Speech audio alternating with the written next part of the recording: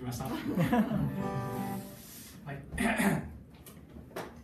はい。えー、ねあのまあ最近いろんなところで歌わせてもらうことが増えたんですけど鳥っていうのがなかなかなくてねこう本当にくじ引きっていうのは怖いなと改めて思います、えー、では森くいきましょうかね。えー、まああの一応2つ今回出したんですけどまあ出来がいいなと思った方えー、思った方を今回は、えー、皆さん聞いていただこうと思います、えー、走るように流れる時にただただ追われ、えー、ようやく気づいた立春の子ということで、えー、本当にあの暦で言うとあの体感の頃から立春2月の頭ぐらいですねがの頃が本当にあの仕事もプライベートも結構忙しくてあの休みは必ず予定が入ってみたいな感じで結構バタバタしてたんですね。でその頃にあのこの学会のあの Facebook のページが立ち上がってこうもうみんな結構バンバンバンこうコメント出したりリク発表したりみたいなことをやってて、えー、それに気が付いたのがまあ2月の10日前後ぐらいでもう立春も過ぎてる頃だったのであ出遅れたという、えー、感情を歌にしてみました。ということで、えーサクサクと歌に行こうと思いますが、えー、とまあこれねあの後藤さんもちょっとネタにしてたんであの釜谷宏って聞いた時はドキッとしたんですけど、えー、一応釜谷宏さんがね今週お亡くなりになりましたので「えー、やつらの足音のバラード」という曲をやってみたいと思います、えー、まあアニメ的に言うと「はじめ人間ヤートルズ」のエンディングテーマなんですけどね、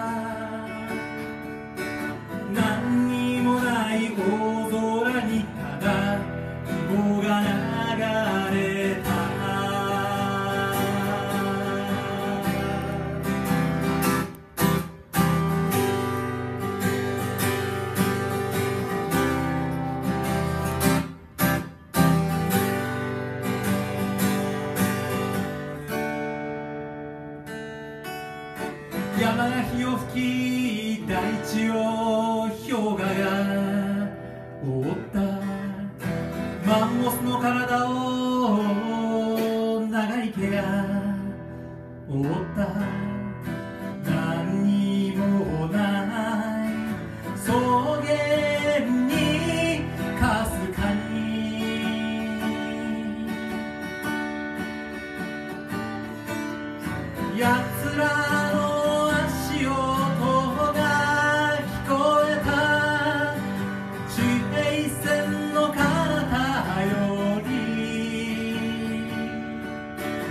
マンモスの匂いとともに奴らがやってきた。やってきた。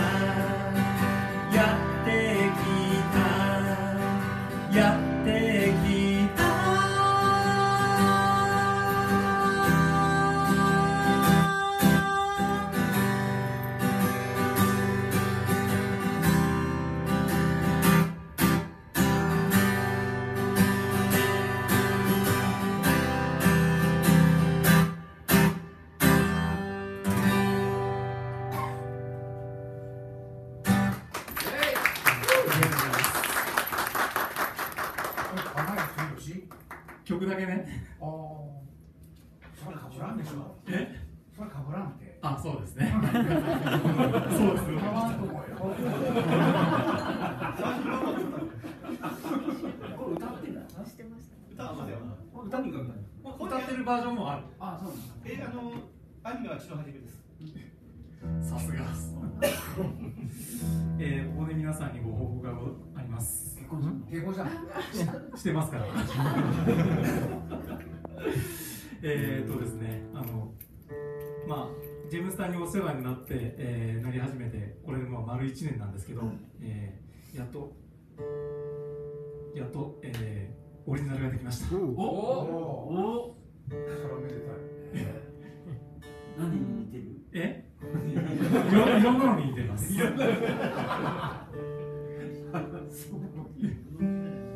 ねあのやったまあねまああのでまあ何をテーマに、えー歌おうかということを考えたときにあのまあここで今日でもあのお子さんのご家族特にお子さんのことをお話しされることがお、えー方がいらっしゃ多くいらっしゃったんですけどもあの私もあの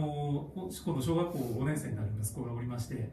えー、2分の1成人式がついこの間終わった、えーという、えー感じで、まあ、あのこれからどんどんあの世の中社会との接点も、えー成長するにつれて多くなっていくなという中で、まあ、あの特にこれあの